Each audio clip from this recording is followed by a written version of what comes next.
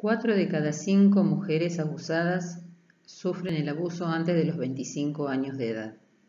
Alrededor del 40% de las mujeres que han sido violadas fueron abusadas antes de cumplir los 18 años.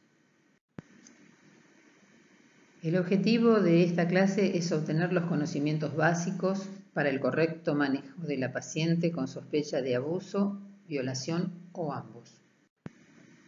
Se define como abuso sexual a cualquier actividad sexual entre personas sin consentimiento de una de ellas. Puede suceder entre adultos o entre adulto y niño o entre niños menores de edad. Incluye cualquier comportamiento sexual con o sin acceso carnal en contra de la voluntad. El abuso sexual infantil o ASI es un caso particular de abuso donde queda implícito la falta de consentimiento por la sola condición de niño. El abuso sexual incluye a la violación, pero también incluye a una amplia gama de comportamientos sexuales, como por ejemplo ser víctima de comentarios sexuales sutiles o manoseo o caricias, sodomía, felación, relaciones sexuales no consentidas, aún dentro del rango del matrimonio, pornografía, prostitución, incesto, la violación y el cometido bajo violencia psicológica, la circuncisión femenina, la mutilación genital femenina. Y la esterilización forzada que viola los derechos de la salud sexual y reproductiva de la mujer. Es importante distinguir que mientras que violación es siempre un abuso sexual, un abuso sexual no es siempre una violación.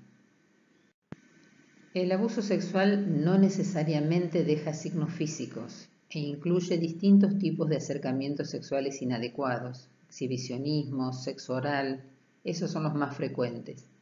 Pero la ausencia de signos físicos no descarta el abuso sexual infantil. La violación es un evento inesperado, único, violento e impredecible, que se define como el acceso carnal por vía vaginal, anal o orofaringia, por medio de la fuerza o de amenazas sin consentimiento de la otra persona.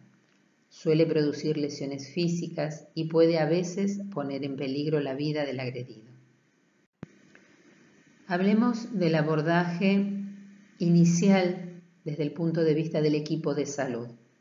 Obviamente requiere de un equipo interdisciplinario que esté conformado por un médico, ginecólogo, ginecóloga o pediatra, un trabajador o trabajadora social y uno o una psiquiatra.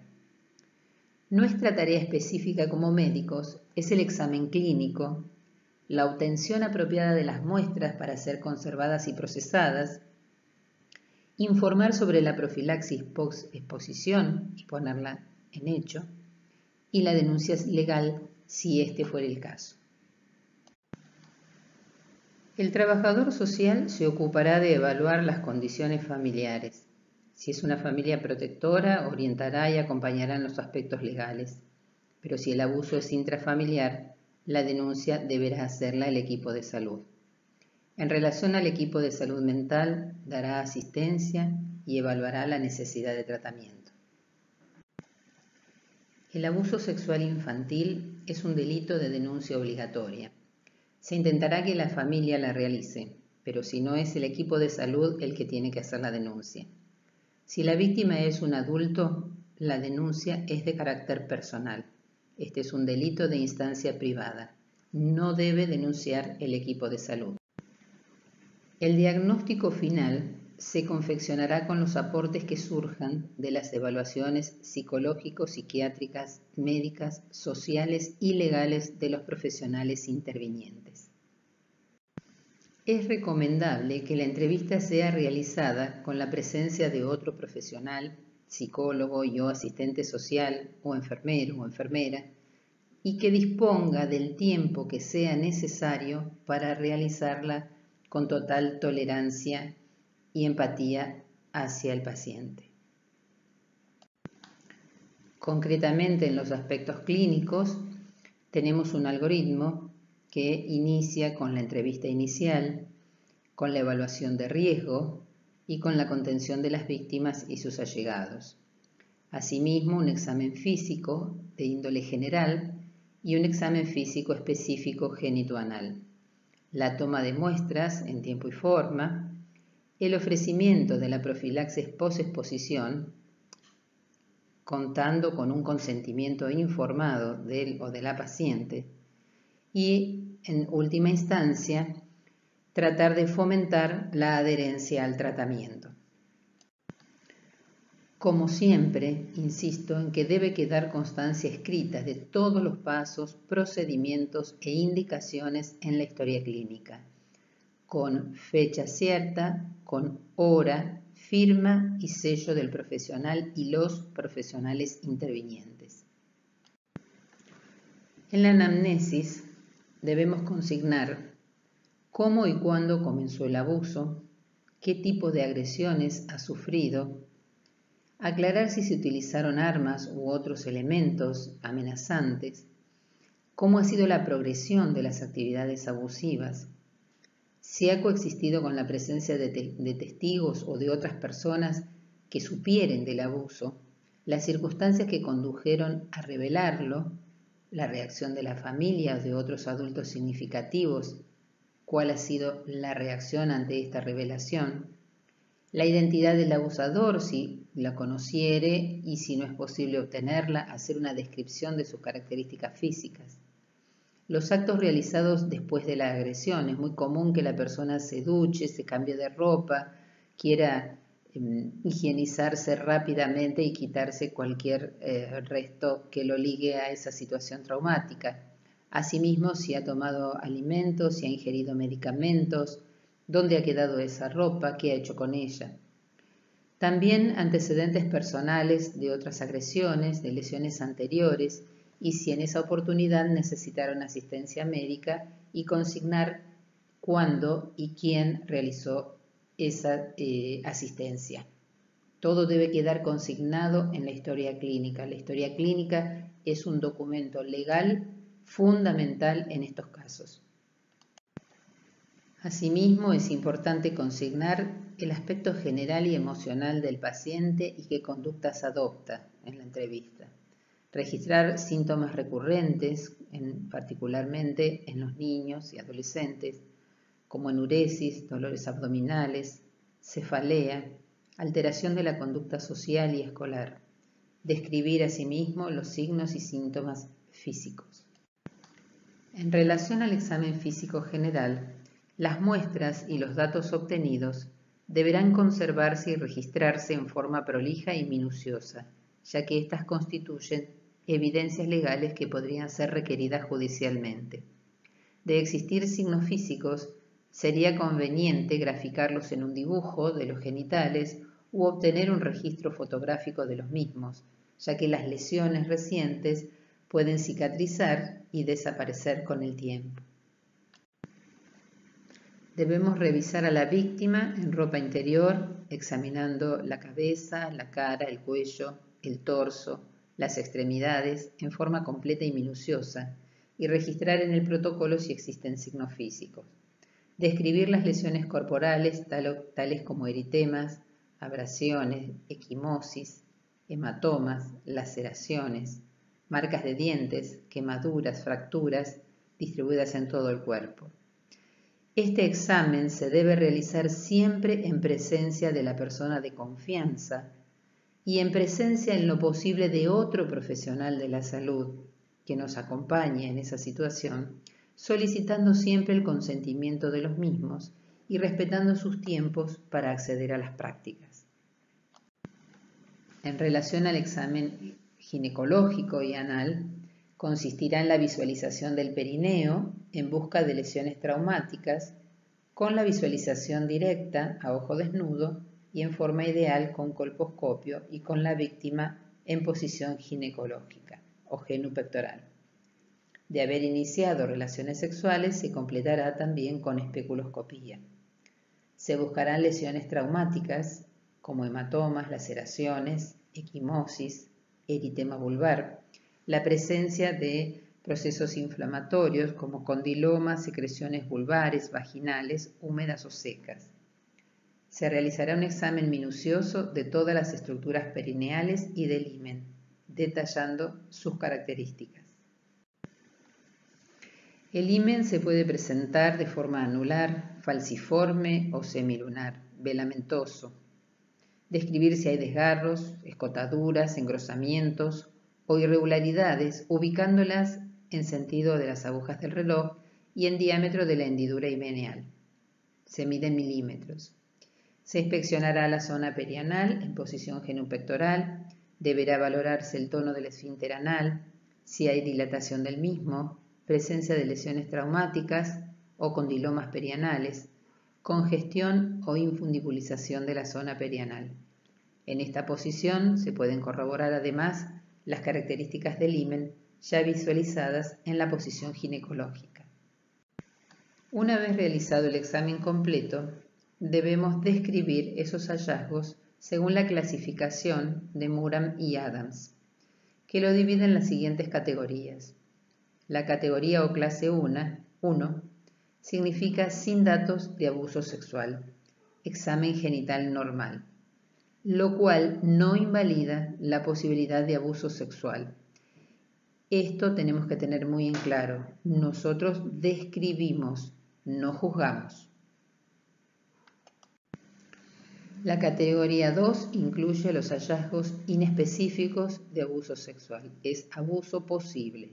Son signos físicos que podrían estar causados por abuso sexual o por otra causa, como vulvitis, lesiones por rascado, aumento en la vascularización del introito vaginal, fisuras en la piel, abrasiones en la horquilla vulvar, coalescencia de los labios menores, presencia de secreción o flujo vaginal, Presencia de condilomas en niñas menores de 2 años. En la zona anal, presencia de hiperpigmentación o eritema perianal, apéndices cutáneos perianales, disminución de los pliegues perianales, congestión venosa, fisuras anales, dilatación anal con materia fecal en la polla rectal. La clase 3 incluye hallazgos específicos de abuso sexual o abuso probable que es la presencia de uno o más signos sugestivos. Desgarros recientes o cicatrizales del himen, aumento del diámetro del orificio himeneal para la edad, desgarro de la mucosa vaginal, marcas de dientes u otros signos traumáticos como laceraciones o equimosis en la vulva, presencia de gérmenes de transmisión sexual con dilomas en niños niñas mayores de dos años. Esto es un signo de alerta todo proceso de transmisión sexual en un niño implica eh, la presunción próxima de abuso sexual. En la zona anal, desgarros superficiales o profundos, cicatrices o tunelización, laxitud del esfínter anal, presencia de condilomas o de otros gérmenes de transmisión sexual, dilatación anal mayor a 20 milímetros sin materia fecal en la polla rectal. La categoría 4 son hallazgos de certeza, presunción definitiva de abuso sexual, que es la presencia de espermatozoides o de líquido seminal, el embarazo por coito no consensuado, la evidencia del uso de la fuerza brusca o traumatismo penetrante, tal como una laceración en el himen hasta la base o hendidura completa, cultivos positivos para gonococos, serología positiva para sífilis, para HIV, abuso con testigos o la existencia de fotografías o videos que prueben el abuso sexual y por último la confesión del supuesto agresor de los hechos que se describen. Esto es algo sumamente importante.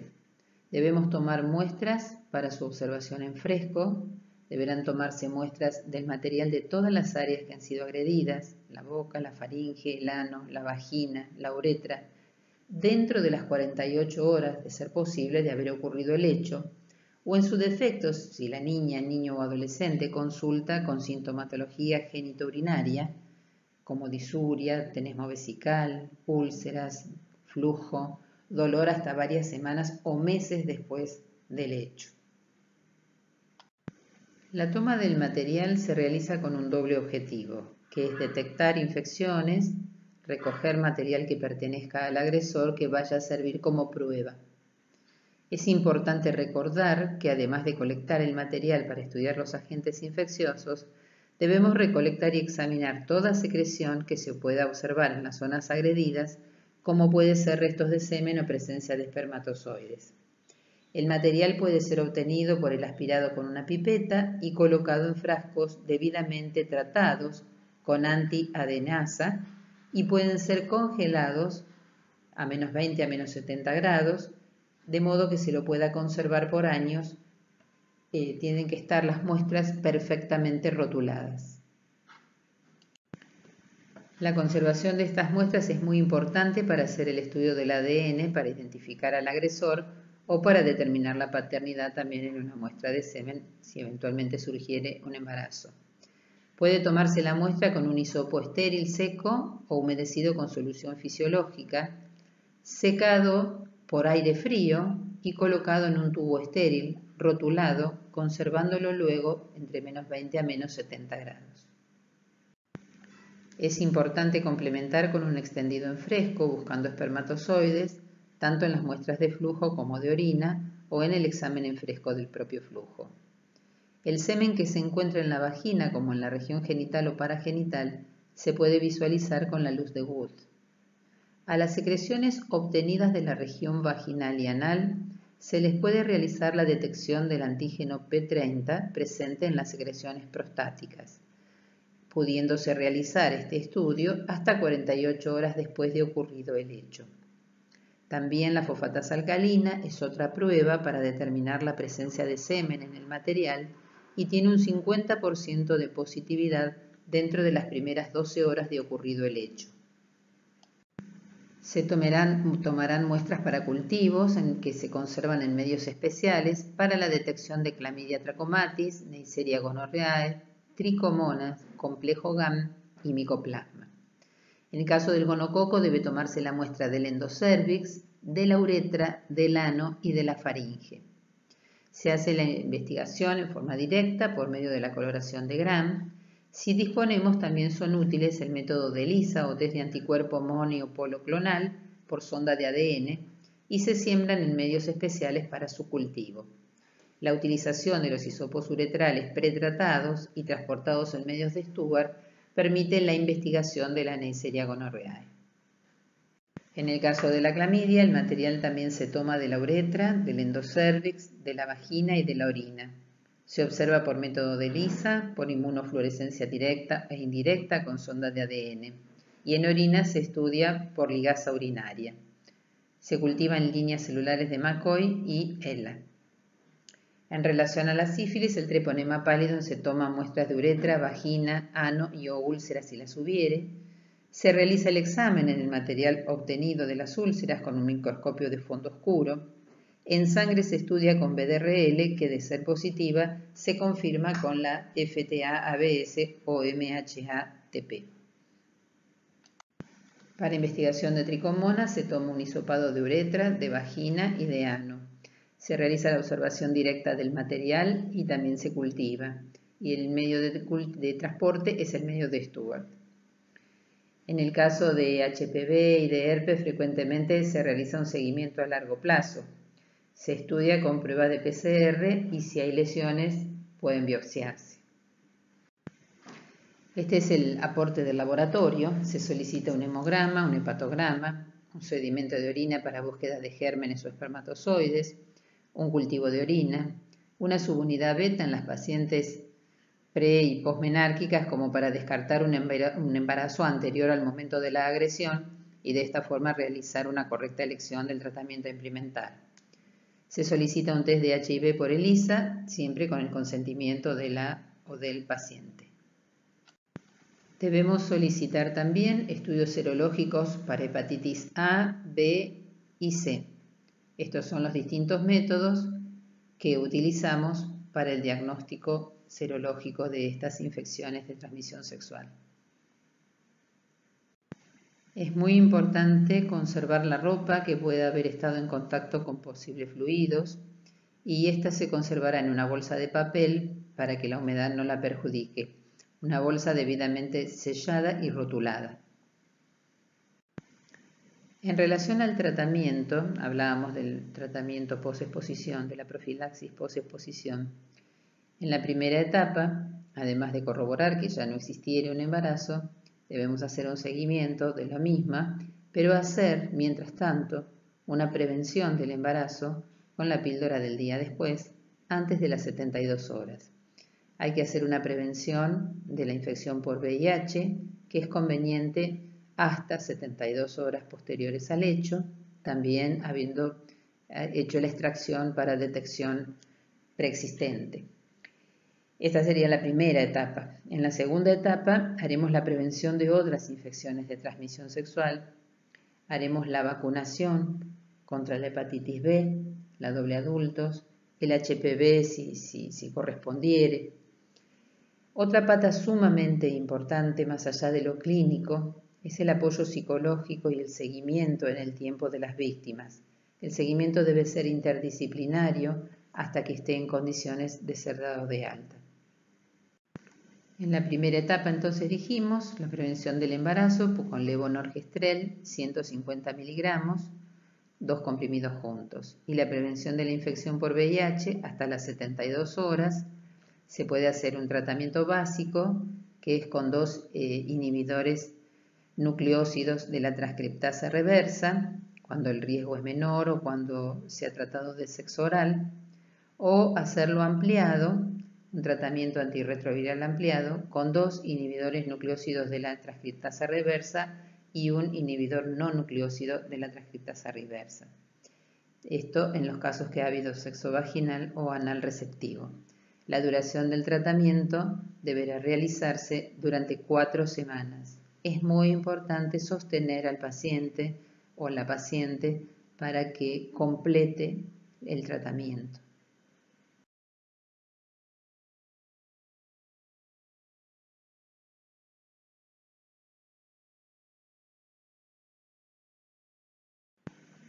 En relación a la segunda etapa de prevención de otras infecciones de, transmisión sexual, daremos la vacuna antihepatitis B, tres dosis, 0, un mes, seis meses, la vacuna de HPV según sexo y edad y la vacuna antitetánica si no está vacunado o si pasaron más de 10 años del último refuerzo. En el caso de la profilaxis para la sífilis, se administrará penicilina benzatínica 2.400.000 unidades en dosis única o ceftriaxone 250 miligramos en dosis única. Para gonococo y clamidia, acitromicina 1 gramo en dosis única. Para el gonococo podríamos dar ciprofloxacina 500 miligramos en dosis única, más doxiciclina para la clamidia durante 7 días 100 miligramos cada 12 horas. En el caso de las tricomonas, le daremos metronidazol 2 gramos también en dosis única. Esta es una etapa sumamente importante, la del seguimiento médico. Dijimos que hacíamos un laboratorio inicial con serología para hepatitis, para VIH, para sífilis, hemograma, pruebas de función hepática y renal y test de embarazo. Todo esto lo repetiremos a las 2 y a las 4 semanas para controlar la toxicidad de la medicación antirretroviral y para detección de embarazo o positividad de alguna de las pruebas que hicimos inicialmente. Para controlar si han sido efectivas las medidas preventivas que tomamos, tendremos que hacer la serología del VIH también a las 6, a las 12 y a las 24 semanas posteriores. Lo mismo que para la hepatitis B, 6, 12 y 24 semanas, y para la hepatitis C, a las 12 y a las 24 semanas. Si en el transcurso de la profilaxis post-exposición apareciera un cuadro compatible con una primoinfección de VIH, como por ejemplo podría ser un síndrome mononucleócido, debemos sospechar entonces una infección aguda y pedir ELISA de cuarta generación, PCR proviral y antígeno P24. Si se confirma esta presunción, obviamente derivaremos a un especialista. Tengamos presente que todas las prácticas que se precisen deben realizarse dentro de un marco de respeto y contención del abusado. De manera que el impacto psicológico de nuestra intervención médica se reduzca a su mínima expresión. Es necesario tener presente también que estas situaciones requieren de un abordaje multidisciplinario.